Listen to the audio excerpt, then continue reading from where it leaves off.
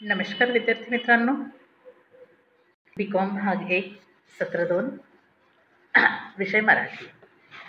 मी मेघा चुटे तुमचं स्वागत करते. मागल्या लेक्चरला आपण व्यावहारिक मराठीमधलं वाक्प्रचार बघत होतो. एकंदर शंभर वाक्प्रचार तुम्हाला अभ्यासाला आहेत. आणि त्या वाक्प्रचारांचं फक्त अर्थ तेवढा अपेक्षित आहे. इथे तुम्हाला त्या वाक्प्रचाराचा वाक्यात उपयोग नाही करायचा. आहे तर इथे जे वाक्प्रचार आपण यापूर्वी बघितले जे पन्नास वाक्प्रचार बघितले त्याच्या पुढे आपण आज बघणार आहोत. तर हे जे वाक्प्रचार आहेत वाक्प्रचार म्हणजे काय? तर भाषेमध्ये काही शब्द किंवा शब्दसमूह असे असतात की त्यांचा नेहमीचा प्रचलित अर्थ न राहता त्यांना एक वेगळा अर्थ प्राप्त झालेला असतो.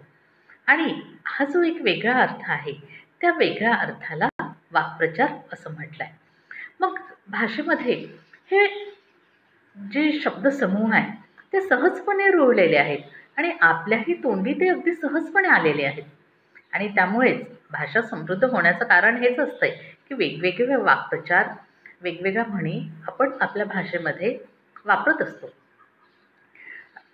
नव्यानं भाषा शिकणाऱ्या माणसाला हे वाक्प्रचार समजून घेणं नक्कीच अवघड आहे. पण आपली ही मातृभाषा असल्यामुळे आपली ही अगदी ही जी काही आपण बोलतो ही जी काही आपली बोलीभाषा आहे ही इतकी समृद्ध आहे की ही समृद्ध असलेली जी भाषा आहे ती ह्या अशा वेगवेगळ्या गोष्टींमुळे वाक्प्रचार असतील म्हणी असतील याच्यामुळे ती अधिकाधिक समृद्ध होत गेलेली आहे.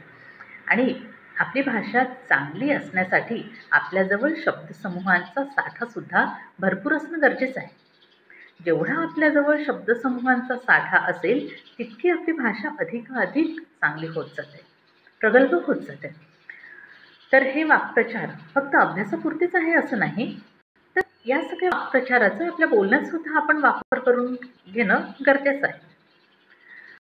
म्हणजे हे वाक्प्रचार अगदी दैनंदिन आपल्या बोलीतले असलेले आहे.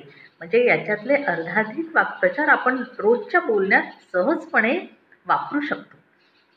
तर हे अगदी सहज असलेले जे वाक्प्रचार आहेत ते मागच्या लेक्चरला आपण पन्नास बघितले होते. आता आपण पलीकडे बघूया. दणानून सोडणे. दणानून सोडणे याचा अर्थ काय आहे? प्रचंड आवाज करणे. दिलासा मिळणे. दिलासा मिळणे याचा अर्थ आहे धीर मिळणे. धाबेदनांने धाबेदनांने याचा अर्थ आहे भीती वाटणे. धुंदी चढणे. धुंदी चढणे याचा अर्थ काय आहे? तर नशा चढणे. जीवाची घालमेल होणे. जीवाची घालमेल होणे म्हणजे जीवाची चलबिचल होणे. तमाशा करणे. याचा अर्थ आहे गोंधळ घालणे. दिवस राहणे. गर्भ राहणे. द्राविडी प्राणायाम. द्राविडी प्राणायाम. याचा अर्थ काय आहे? सरळपणे न वागता लांबच्या मार्गाने वागणे. म्हणजे जी गोष्ट अगदी सहज साध्य होऊ शकत असेल अगदी सरळचा कुठला मार्ग असेल तो न वापरता अगदी अवघड असलेली अशी गोष्ट वापरून लांबच्या मार्गाने ती गोष्ट मिळवणे त्याला काय म्हटलं आहे? द्रविडी प्राणायाम. छक्के म्हणजे सुटणे. याचा अर्थ आहे भीती वाटणे.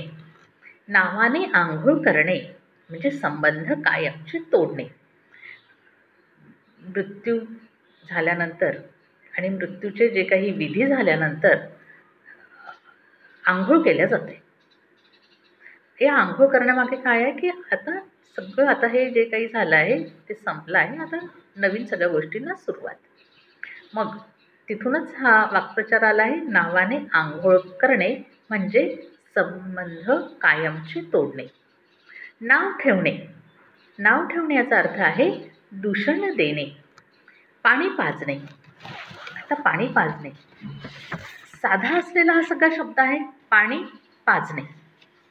याचा जर का आपण सरळ भाषेत अर्थ घेतला तर सरळ कुणाला तरी आपण पाणी देतो आहे पण मुळात पाणी पाजणे याचा या वाक्प्रचाराचा अर्थ आहे पराभव करणे.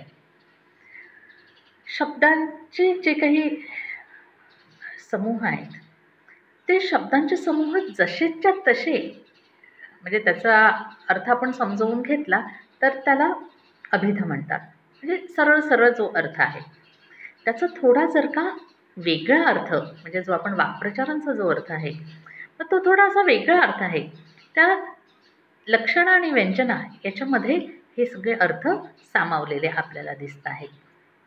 तर इथे आपल्याला सरळ सरळ तो अर्थ न घेता त्याच्यामागे दडलेला जो अर्थ आहे तो शोधण्याचा आपला प्रयत्न आहे. आणि रूढ परंपरेनुसार जो अर्थ त्याला अभिप्रेत आहे तो आपण इथे समजवून घेतो आहोत. म्हणून पाणी पाजणे. पाणी पाजणे याचा अर्थ काय आहे? पराभव करणे. पाणी पडणे. म्हणजे त्याच्या स्वप्नावर पाणी पडणं. म्हणजे ते नाहीसं झालं आहे नाहीसे होणे. पाणी मुरणे. आता पहा पाणी मुरणे.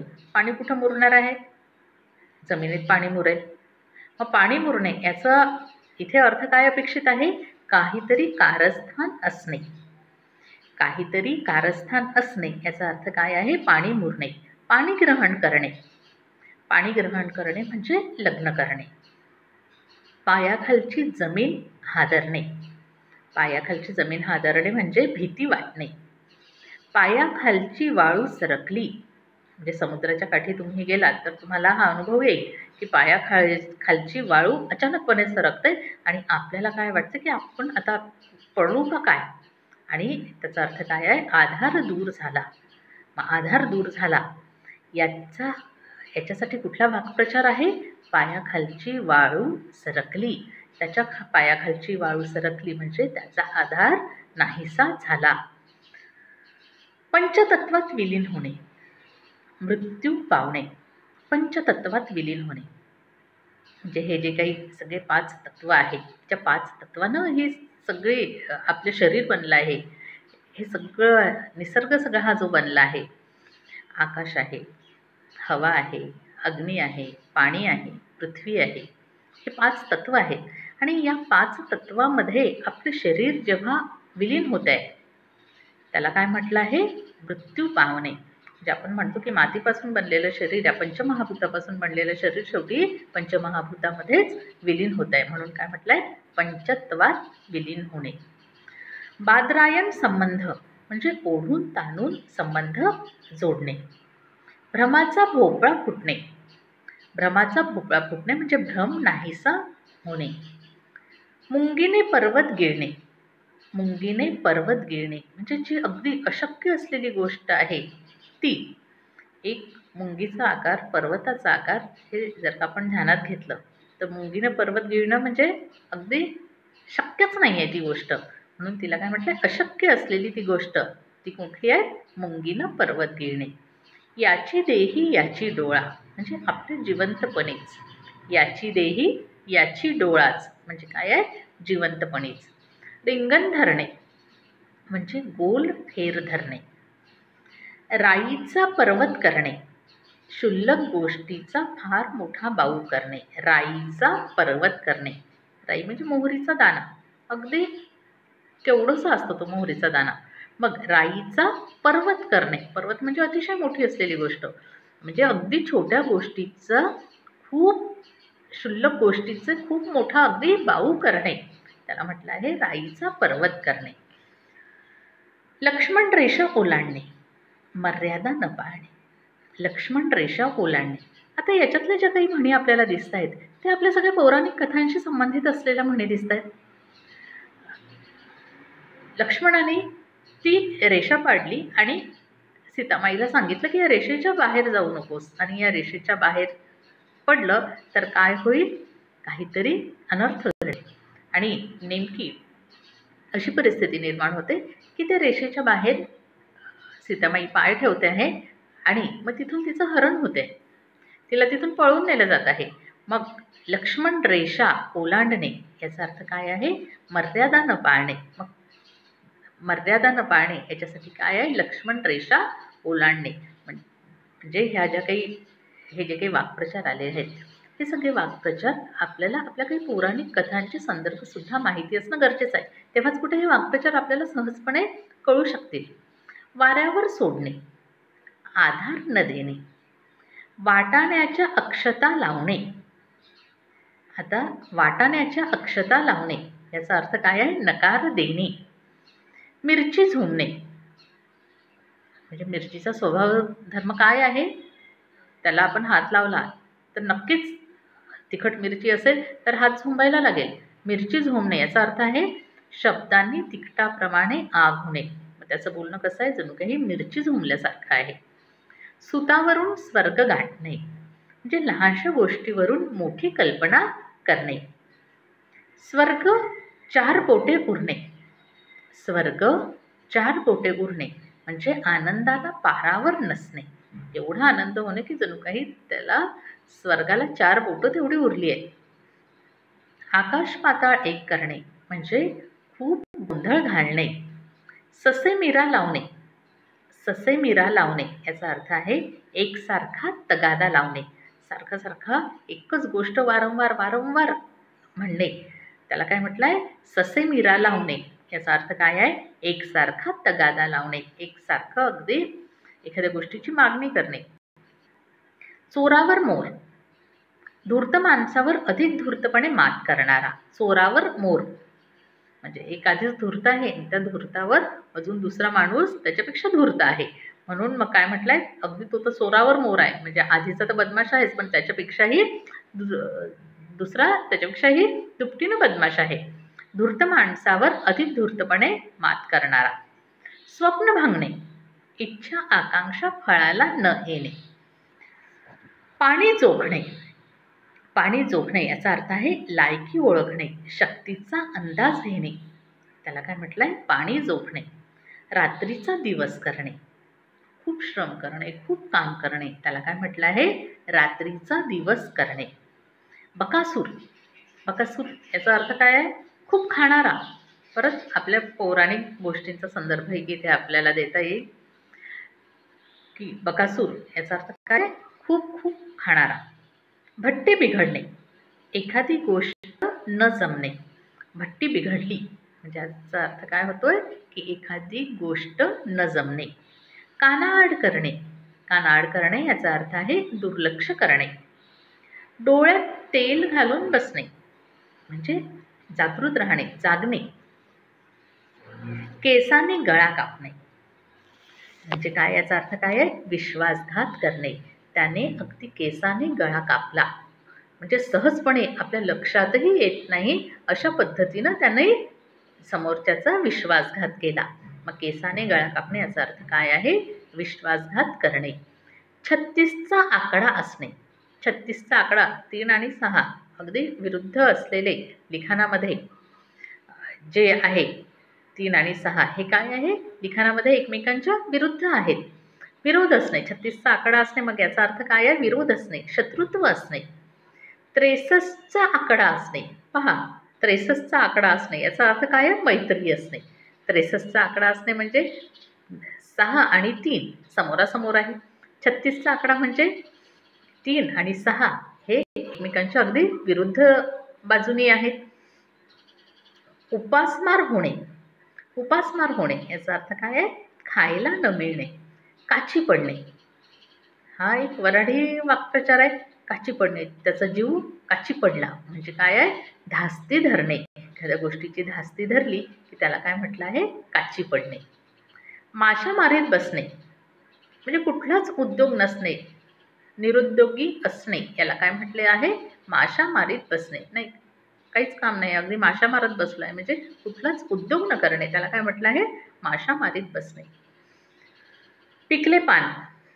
म्हातारपण म्हातारा माणूस त्याला काय म्हटलं आहे पिकलं पान. आता पिकलं पान जसं झाडावरून गळते तसंच वयोवृद्ध असलेला माणूस हा अगदी केव्हाही तो गळून पडू शकेल. म्हणून त्याला काय म्हटलं आहे? पिकलं पान. याला काय म्हटलं आहे? म्हातारपण किंवा म्हातारा माणूस. कान फुंकणे. कान फुंकणे म्हणजे चुगली करणे किंवा दुसऱ्याबद्दल वाईट सांगून मन कलुषित करणे. कान फुंकणे. याचा अर्थ काय आहे? चुगली करणे. चढाई करणे. चढाई करणे म्हणजे काय? हल्ला करणे. डोक्यावर खापर फोडणे. डोक्यावर खापर फोडणे याचा अर्थ आहे दोष देणे. डोक्यावर खापर फोडणे याचा अर्थ आहे दोष देणे. तर आता आपण हे जे सगळे वाक्प्रचार बघितले. तर हे सगळे वाक्प्रचार कुठल्या पौराणिक कथांमधले आहे? कुठल्या प्राण्यांच्या संदर्भातले आहे?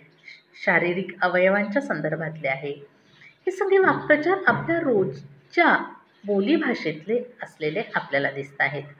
आणि वाक्प्रचाराच्या वापराने आपली भाषा अधिक चांगली आणि देखणी होऊ शकते. तर या वाक्प्रचारांचा वापर आपण सगळ्यांनी आपल्या भाषेमध्ये करणं अपेक्षित आहे. मग वाक्प्रचार म्हणजे काय आहे?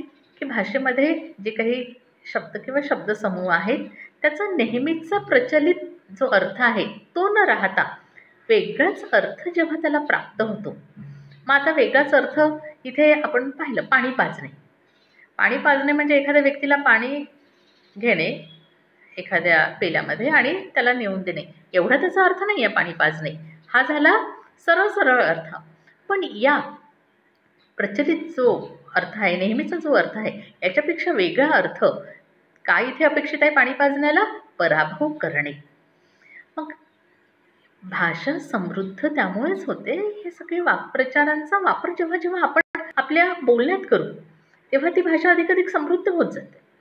आणि आपली भाषा समृद्ध करणे आपली मातृभाषा समृद्ध करणे ही आपली सगळ्यांची जबाबदारी आहे. मग त्यामुळे हे सगळे वाक्प्रचार तुम्ही वाचा ऐका समजवून घ्या आणि आपल्या बोलण्यामध्ये त्याचा वारंवार वापर करा. आणि तुम्हाला इथे फक्त वाक्प्रचाराचा अर्थ काय आहे एवढं समजणं अपेक्षित आहे.